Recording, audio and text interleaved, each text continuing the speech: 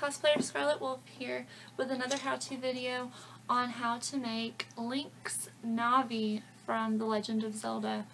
Um, it's actually really easy if you have the right materials. Um, I actually used Shrinky Dinks, um, and I'm actually going to have to hot glue her back together because she broke a wing the last time I uh, cosplayed when she got back into my packaging. Oh, and it keeps falling off. But um, anyways, I'm going to hot glue her back together and show you how I made her. Um, all I did was take Shrinky Dinks and I colored them for her wings with blue. Um, it's really easy. And then did the whole Shrinky Dink thing. Um, and then I took a plastic Christmas ornament and I hot glued her uh, wings into the Christmas ornament. I left the bottom open. Um, a lot of people like are just amazed at what I can do with it. But um, you can find these little lights. I don't have one on me. I'll have to buy one the next time I go to my cosplay events. Uh, they're like at the dollar store for a dollar. Um, they're the hand lights that come in red, green, white, and blue. Uh, I usually grab the blue and white one and take them with me because they don't last very long, so throughout the day I'll switch them over. But uh, I put one on each of my middle fingers. Um, they hide underneath my link gloves.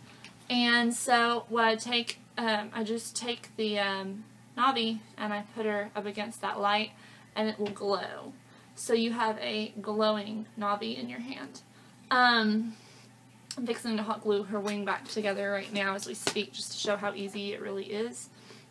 All you do is put some hot glue there, make sure I have her the right way, stick it in there, and kind of get rid of some of your excess glue on the sides.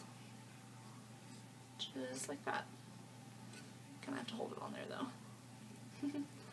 but um, she's really easy to make and I just took some light blue paint and painted it on there. So that's what she looks like, and she glows, and she kind of has this like ethereal look.